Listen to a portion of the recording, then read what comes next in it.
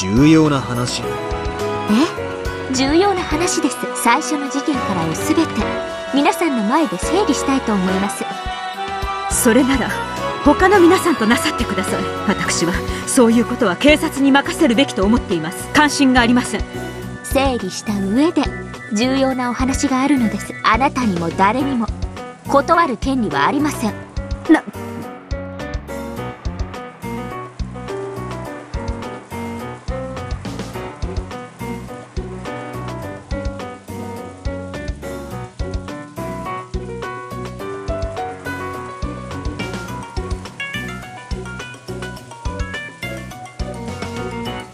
すみません。その扉閉めてもらえます？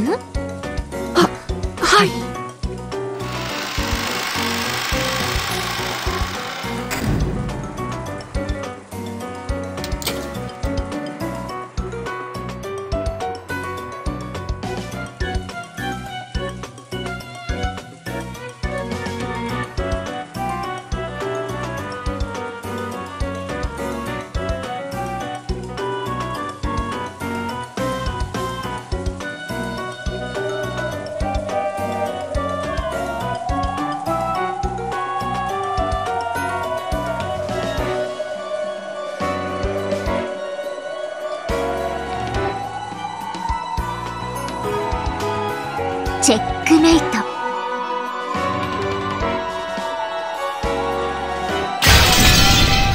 ら、早い。何？もう犯人分かっちゃったの？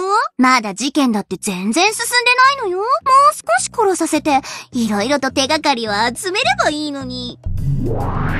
さあ、ラムダ。すべての駒を集めなさい。ここからが一番面白いんじゃない？思い切り楽しみましょう。お互いにね。どうかしらね。お手並み拝見と行くわよ。24時のゲームセットを待たずに、もう仕掛けてきたとはな。ベルンカステル教名。気の早い御人よ。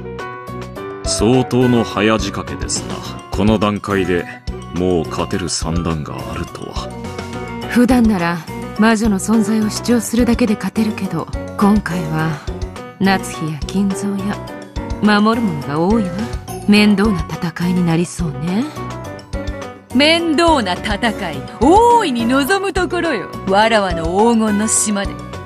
これ以上の好き勝手はさせぬわ。受けて立とうぞ。ベルンカステル卿、フルドエリカ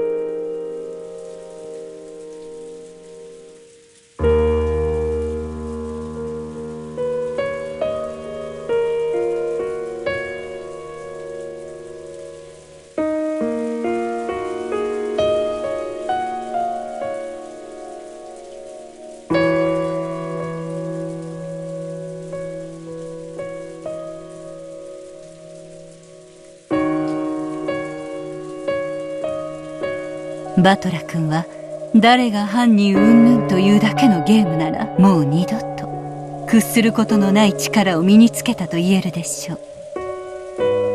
第4のゲームまでであなたは全てのメッセージを彼に伝えています。つまりバトラ君はいつでも全ての真実に気づいても良いということです。しかし彼には甘えがある。だからこのままゲームを幾百と続けたとしても永遠に解けはしない。まるで青い鳥を探すかのように永遠にさまよい続けるだけ。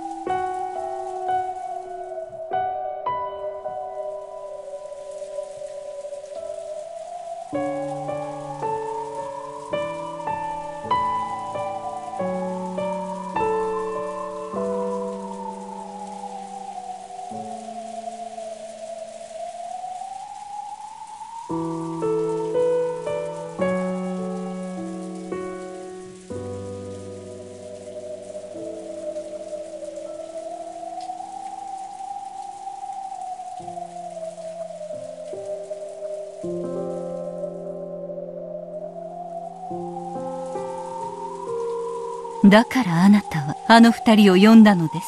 あなたたちの永遠の拷問を終わらせるため。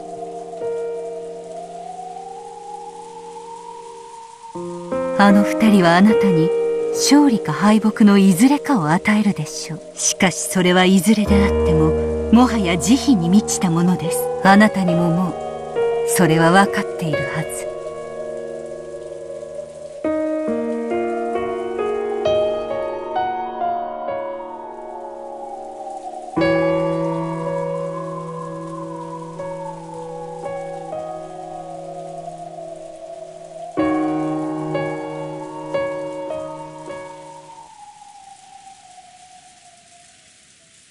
ベアトリーチェあなたはいつまでそうして生きるでもなく死ぬでもなく天国に昇るでもなく地獄に落ちるでもなく煉獄山の頂上でぼんやりとしているつもりなの。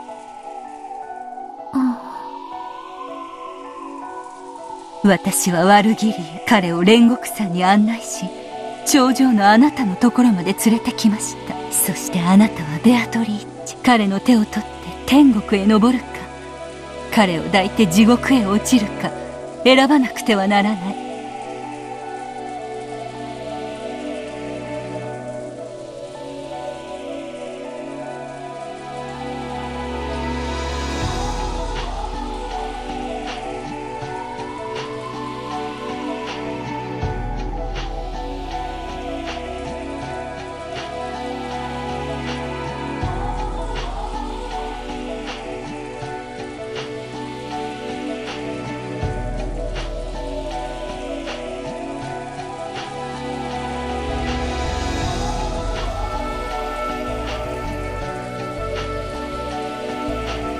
飛びなさい。煉獄の崖より淡く脆くてくだらない希望の未練ごとパンドラの箱を開け放ってしまいなさい。怖いでしょ箱を開けるのは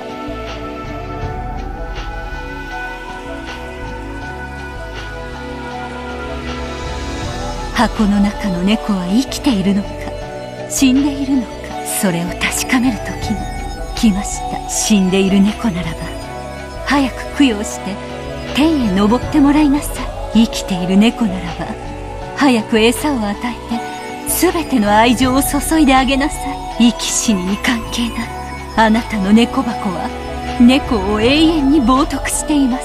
あなたが開くことを恐れた箱の鍵をあの二人が持ってきてくれましたよ。